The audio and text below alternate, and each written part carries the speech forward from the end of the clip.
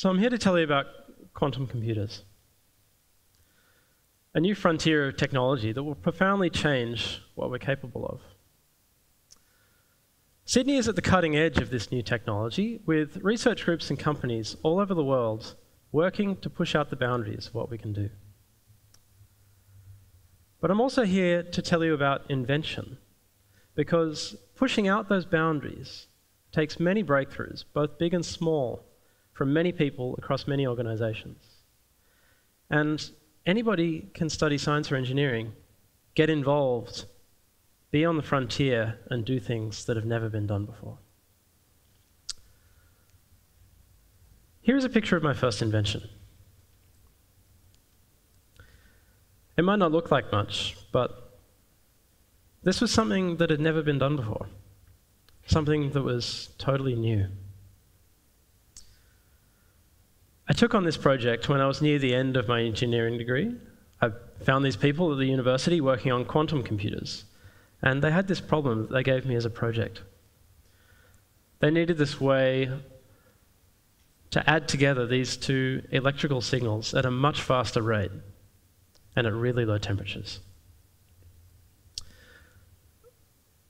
So I looked at this project, and I'll admit that my first thought was that doesn't seem that hard.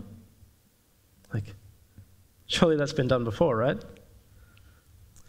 Well, fast forward a couple of months of me trawling through my textbooks and then searching research papers and then getting a bit desperate and searching through patents. Eventually, I realized that there wasn't a solution out there. Nobody had done this yet. So I had to go at it. I tried one idea, it didn't work. I tried another idea, which was pretty much totally hopeless, but on the third try at it, I was onto something. So I built this thing, I tested it. It had to work at really low temperatures, so I dunked it in liquid nitrogen and then tested it again, and everything worked. I couldn't believe it. I, and it could add together those two electrical signals over 100 times faster than what was possible before. So I pulled it out of the liquid nitrogen and watched it frosting up on the bench, and I thought, gee, like, this has never been done before. This thing is totally new.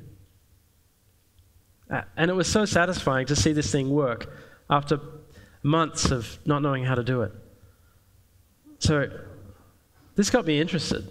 I, I finished my university degree and I, I got into research.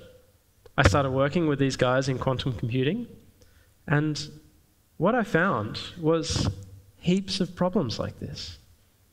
Things that hadn't been solved yet. And what's more, I found a team of brilliant people who were solving these problems all the time. Problems would get solved, and we'd find new problems that hadn't even been attempted yet. I found out that it's so exciting to be on the cutting edge of new technology because so often when you need to solve a new problem, you can't just look up how to do it. You've got to be creative and invent something new. The thing that really drew me, though, was that these weren't just inventions by themselves. They were small problems to solve on the way to solving one really big problem. How do we build a quantum computer? We now know that this is one of the new technologies that will change our world, and there's a race going on right now around the globe to see who will be the first to make one.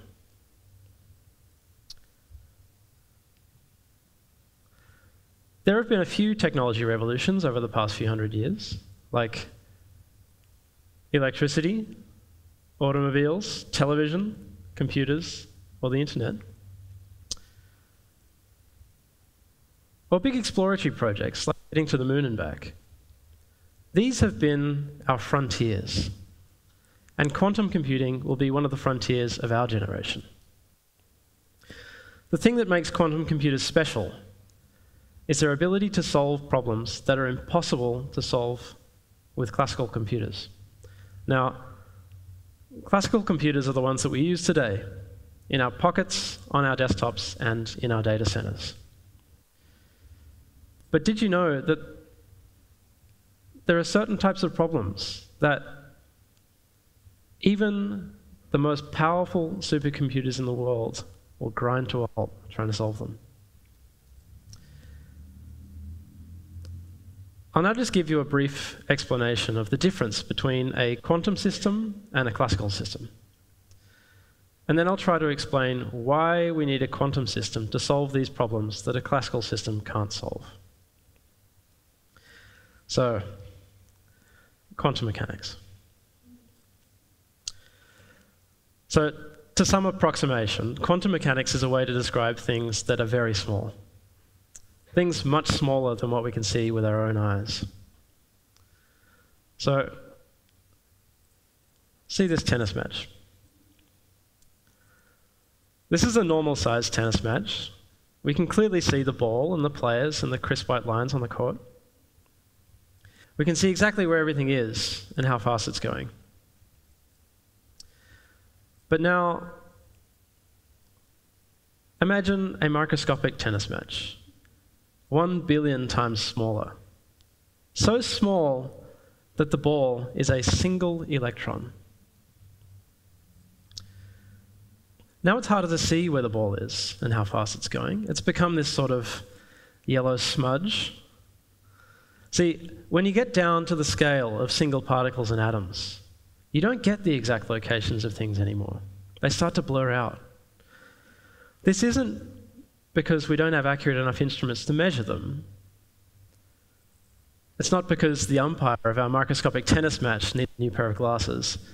It's because the particles themselves start to blur out.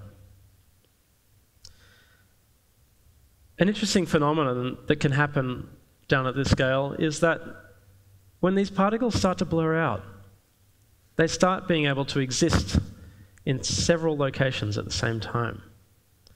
We call this a state of superposition, where something can be in two places or two states at the same time. But it gets stranger from there. Say if I'm one of the players of this tennis match. I hit the ball across the court towards my opponent, but I hit it in a superposition of both going to the left and the right side of my opponent's court at the same time. Now, disregard how unfair this tennis match is for a moment. What does my opponent do about it? Say my opponent picks the left side. If the ball goes left, he'll hit it back. If the ball goes right, he'll miss it. But something interesting has happened here. The ball was in a superposition, but now my opponent is in a superposition of both hitting the ball back and missing it. And his state depends on the state of the ball. This is a simplified description of quantum entanglement. Now, quantum entanglement is at the heart of what makes a quantum computer special. It's the thing that allows a quantum computer to simulate a quantum system, but impossible for a classical computer to do the same thing. Now, to give you an example of a quantum system that we might like to simulate, consider a chemical reaction. Deep down, a chemical reaction depends on the interactions between atoms and molecules and electrons. But these are quantum mechanical interactions. If you want to know whether two elements or compounds will react with each other, you have to understand precisely these quantum mechanical interactions. To understand them precisely, you need to simulate them. But to simulate these quantum interactions, you need a quantum computer. Now, being able to simulate a quantum system would allow us to do many things that we can't currently do, like simulate a new medicine inside the human body, or design new materials and compounds from the ground up, atom by atom. But this capability could allow us to do much more than classical computers currently can in other areas, like optimization, finance, AI and machine learning, or cryptography. Quantum computers could potentially break most of the encryption that we currently use to secure our data, like the amount of money in our bank accounts or the contents of our emails.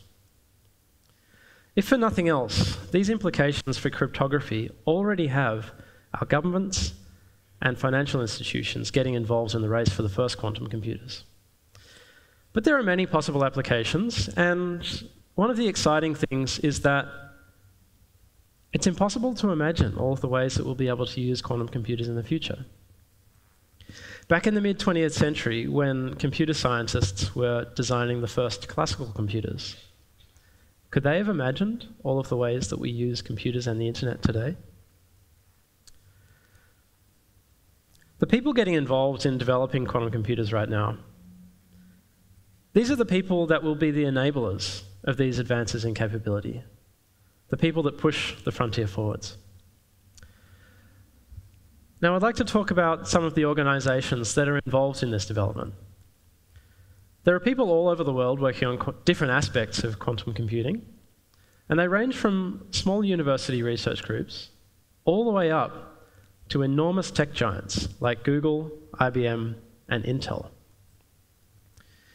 Everybody working on quantum computers is making a contribution that helps us progress, but at the same time, everybody's a part of the race, trying to get there first.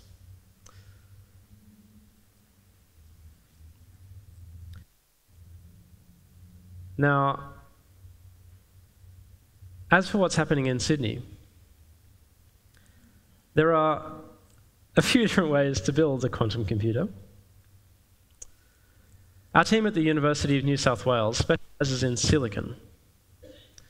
We make quantum bits, or qubits, which are the fundamental building blocks of a quantum computer, out of single electrons in silicon. To do this, we use the same technology that's used to power our phones and laptops today.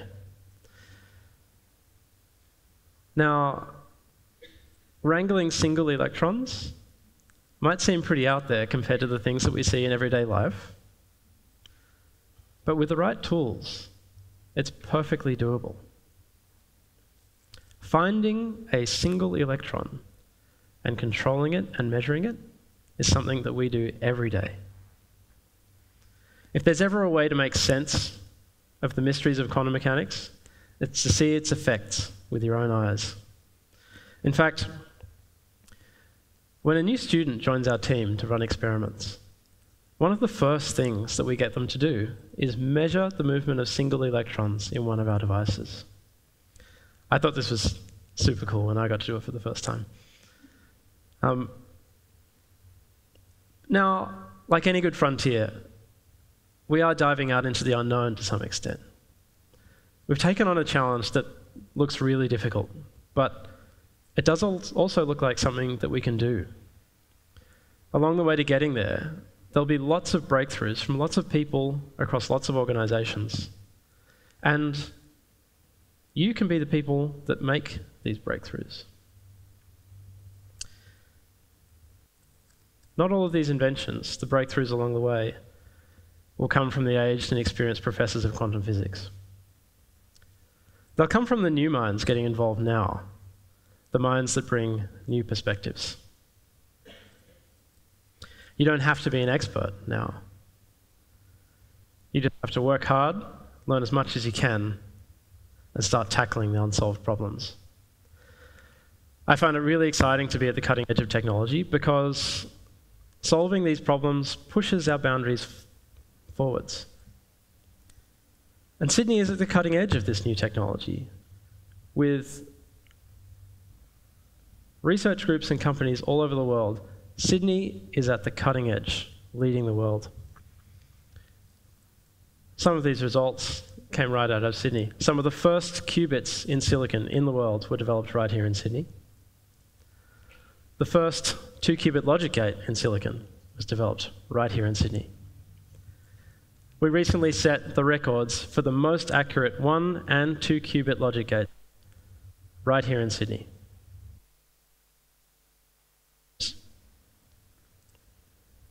It was young researchers that made these breakthroughs. People showing that a bit of curiosity and vision will take us a long way.